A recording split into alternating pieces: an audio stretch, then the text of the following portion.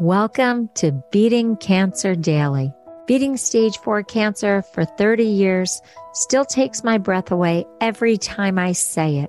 I'm Saranne, founder of the Comedy Cures Foundation, and I hope you'll join me for just a few minutes daily for the next 365 days so we may laugh, learn, maybe cry a little as we live our best days beating cancer daily together.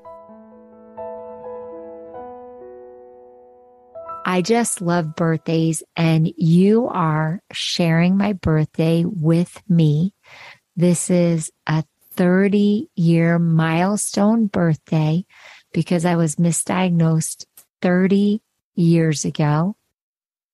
And I was properly diagnosed 24 years ago and I was considered cancer free 21 years ago this July. How do you feel about birthdays? Did that change when you were diagnosed with cancer? I love them. I've always loved birthdays. I love to have people from all different eras of my life together on my birthday. And once I was diagnosed, they took on even a bigger meaning and a bigger significance and bigger celebrations. Anyway, this is just another excuse for me to celebrate my birthday with you today and talk about some really interesting things that I discovered while I was on cancer treatment about my birthday. I'm a bit obsessed with this party say called Pump It Up because they actually put a lot of facts about birthdays there. So I'm just going to summarize a few of them, but I love facts and their facts were super cool. So if you have a birthday coming up, you can share these cool facts at your birthday. So here goes. Supposedly, birthdays really didn't start getting momentum until calendars were created because it was really difficult for people to mark the passing of time. So supposedly there is a mention of Pharaoh's birthday in 3000 BCE, but it doesn't refer to the actual birth, but to the birth or crowning as a god which I think is pretty interesting. So supposedly the Greeks borrowed this somewhat from the Egyptian tradition. And they felt that when birthdays or major change days happened, that evil spirits could rush in. So they lit candles in response to this, like bringing light into darkness so that these celebrations were almost as a form of protection. So family and friends would gather around the birthday person to protect them from harm. And so good cheer, good thoughts, singing, wishes, gifts, all of this was to ward off evil spirits even the noisemakers that we associate with celebrations were a way to scare off unwanted evil. At first, Christianity did not endorse this whole concept of birthdays, and they thought of these celebrations as something evil. And it wasn't until the fourth century that they stopped thinking this way and began celebrating the birth of Jesus also known as Christmas. I'm Jewish and I don't really have any data here on what the original Jewish thought was on birthdays, but I do know now that we don't believe in blowing out birthday candles because we believe that candles are to put light in the world and that they shouldn't be blown out, creating less light in the world. I also know that it is very common on a birthday of a Jewish person for that person to give blessings to everyone they come in contact with. Supposedly on that day, you have the ability to be more connected and that you can give really powerful blessings to other people. If you know the tradition of how birthdays evolved in your culture, I would love to know it. So go to the Comedy Cures Foundation and hit the record button or the contact button and let me know. I'm just fascinated. Back to what I was learning about birthdays. So we know that cakes are so much associated, at least in America, with birthdays. And there was a German bakery in Philadelphia when I was growing up and I loved their cake. And there is a German bakery in Manhattan and I love their cake too. So I think the Germans have birthday cakes down and it makes sense because German bakers are attributed with creating the first birthday cake and putting the candle one for each year plus one for the hope of living at least one year more. Then blowing out those candles was a big part of the celebration. So one for each year you're alive and then one for hope of living another year. I came from a family where we didn't just have a birthday, we had a birthday month.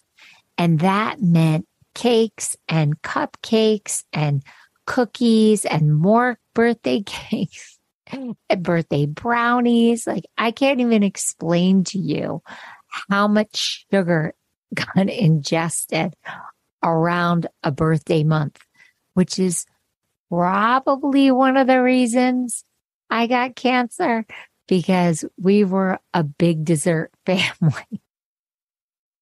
now I know that's very controversial. Some people say, you know, sugar can definitely cause cancer and other people say it doesn't cause cancer. But I am telling you, the year I was diagnosed with cancer, I think I had seven birthday cakes and I ate them all. I couldn't eat enough birthday cakes on my birthday. and I don't want to send up an alarm about desiring sugar, but I'm just telling you as much as I enjoyed desserts before I got cancer and before I was diagnosed, the year I was diagnosed with cancer, I honestly devoured all my cakes. I didn't even want to share them with anyone.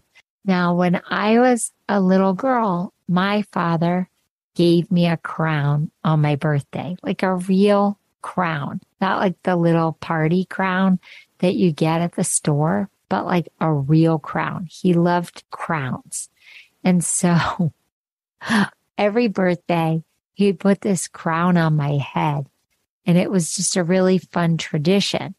But what I learned is that the crown probably came from the fact that nobility only celebrated birthdays for a very long time.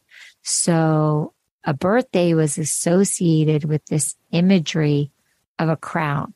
And somehow my dad, who was very eccentric, thought that a little kid should have a crown for their birthday. And so I have such fond memories of him birthday after birthday, placing that crown on my head, loving cakes, loving dessert.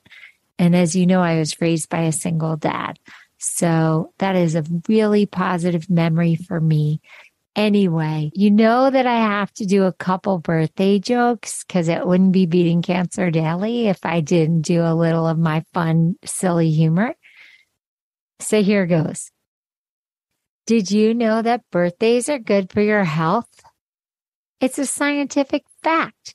People who have more birthdays live longer. Here's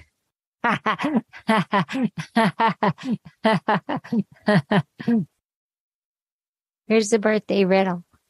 How is a birthday cake like baseball? Both need batters. Why did the mushroom always get invited to birthday parties? Because he was a fun guy.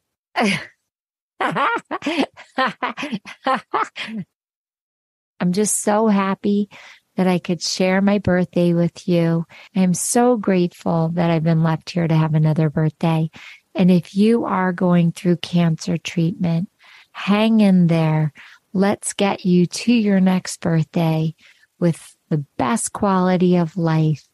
And just think about all of these funny things that have led up to how we celebrate birthdays today.